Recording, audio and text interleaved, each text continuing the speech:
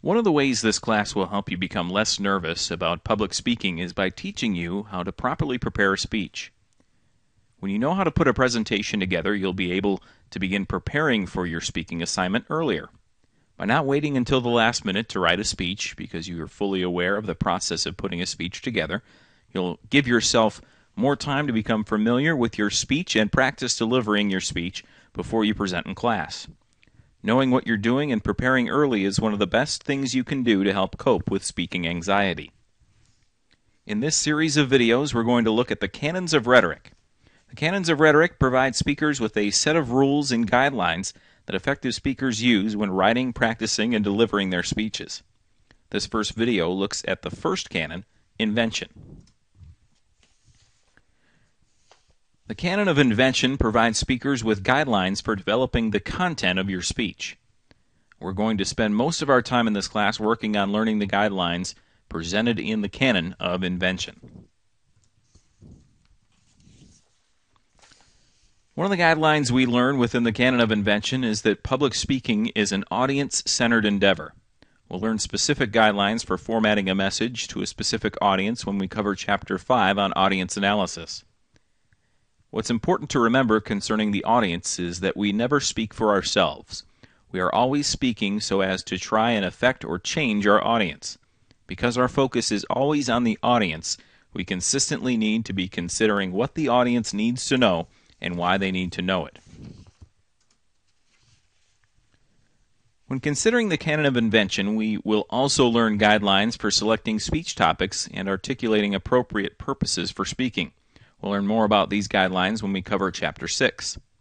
Generally speaking, we want to consider topics that meet the assignment and that will be interesting to our audience because public speaking is audience focused. Additionally, we want to know what, per, what our purpose is and make sure that our thesis statement and our claims help us achieve our specified purpose. While learning the guidelines for invention, we will also cover information about how to go about conducting research for a speech.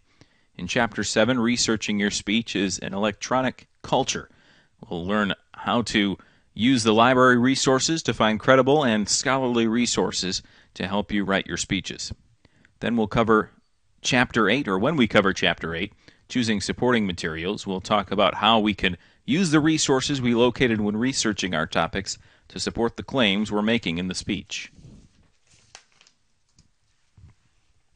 Within the canon of invention, we are also going to learn guidelines for each type of speech we'll cover this semester.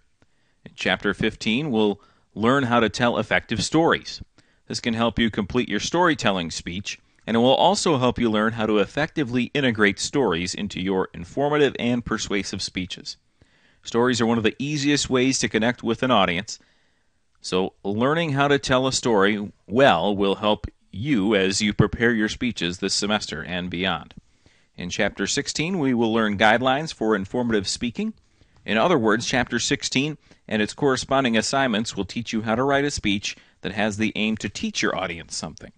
And in Chapter 17, we'll learn the guidelines for persuasive speaking.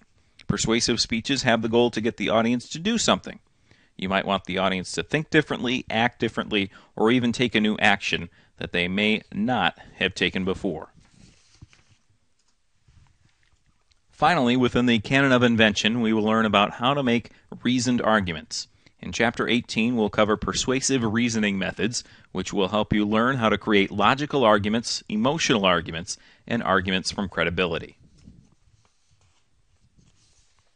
So, the vast majority of our time this semester will be spent learning the guidelines outlined in the canon of invention. As we cover these chapters, you will get the chance to develop and practice many different skills outlined that will help you become a stronger public speaker.